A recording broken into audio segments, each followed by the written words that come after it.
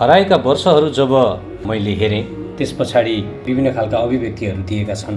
प्रकाशलाई चाहिँ घर फर्काइएको छ। घरमा आउँदाखेरिको क्षण अनि त्यो बाटोमा चाहिँ तिम्रो आमा बित्नुभयो तिम्रो बुबाहरू आमाहरू यहाँ बस्नुहुन्न उहाँहरू त भोजपुर नै बस्नुहुन्छ भनेर चाहिँ कुरा गरिरहँदाखेरि उनको मनमा गुज्रिएका उनको मनमा लागेका ती धेरै कुराहरू हामी कल्पना मात्रै गर्न सक्छौँ।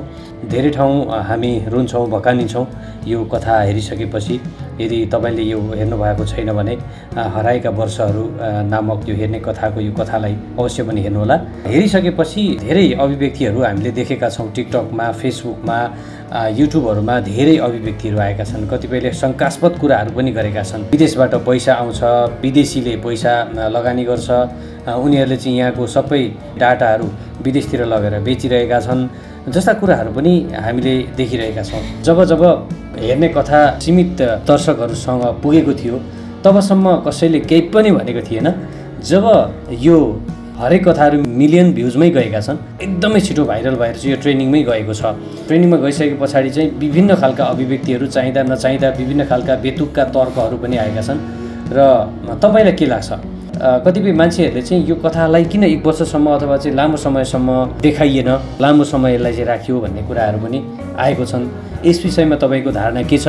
त्यो पनि यहाँ राखिदिनु होला कमेन्टमा। अब यी सबै कथाहरूलाई हामीले चाहिँ निहाल्दाखेरि अहिलेसम्म कसैले केही पनि नभनेको भने यो पनि एउटा राम्रो ढङ्गले प्रस्तुत गरिएको एउटा पुण्य कमाएको कथा हामीले हेरेका छौँ। किनभने प्रकाश लेखमा चौरी चराएर बसेको वर्षौँ भएको तिस पैँतिस वर्ष भइसकेको र उनले चाहिँ आफ्नो घरहरू केही पनि थाहा नभएको अवस्थामा यो टिमले गएर जब प्रकाशलाई फर्काएर ल्याउने जुन हिम्मत गरेको छ किनभने कसैको घरमा लामो समय बसेको युवालाई परिवारकै सदस्य जस्तो भएर बसेका छन् भने त्यहाँबाट छुट्याएर लानु पनि एउटा ठुलो हिम्मतै लिनुपर्ने हुन्छ र पुर्याउनु पर्ने एउटा जिम्मेवारी हुन्छ। किनभने उसको घर अर्कै छ उसको आमा बुबा अर्कै छन् उसको परिवार अर्कै छ भने त्यो कुरा थाहा पाइसकेपछि एउटा मिडियाकर्मीले गर्नुपर्ने जुन धर्म उहाँले गर्नुभएको छ। र यसमा हामीले चाहिँ विभिन्न खालका तर्क दिनु नेगेटिभ तर्क दिनु चाहिँ खासै उपयुक्त हुन्छ जस्तो मलाई लाग्दैन। तपाईँलाई के लाग्छ? कृपया आफ्नो कमेन्ट लेख्नुहोला। धन्यवाद।